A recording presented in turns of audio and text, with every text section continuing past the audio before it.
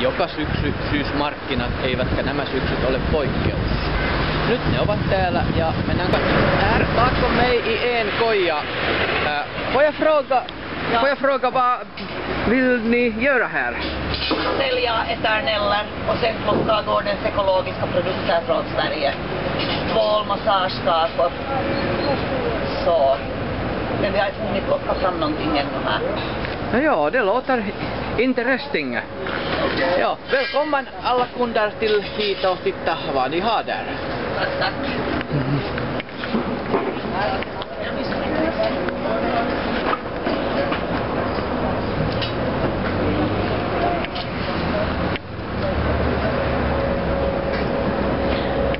Saatte ilmaista mainosta Vaasalaisia infokaupunkiblogiin. Mitä aiotte täällä tänään myydä? Muuripohjalettuja Ja kahvia. Ja kahvia. Hyvä. Jaha, mistäs nämä tämmöiset muurinpohjaletut on oikein kotoisin? Kuopiosta. Jaha, no niin, sehän on mielenkiintoista sieltä. Kai, katsomaan tänne rannikolle, että mitä kai teillä on sitten kalakukkoakin, kun sehän on Kuopiosta. Ei ole kalakukko. Joo. No joo, hyvä. Näin niin.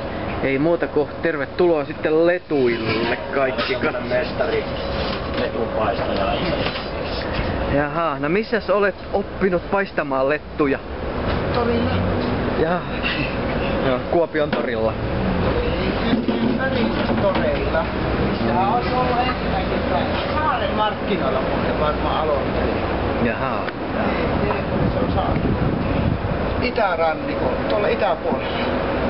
Imatran yläpuolella mennään kohti toisuutta. Joo.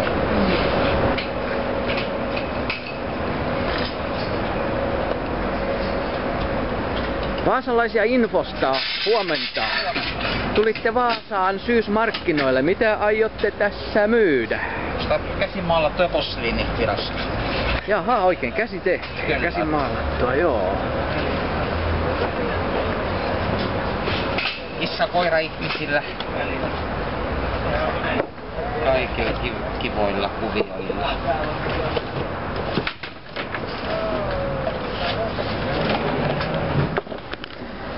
Eli tällaista täällä Vaasassa. Tervetuloa syysmarkkinoille. Ne aukeavat tässä ihan kohta.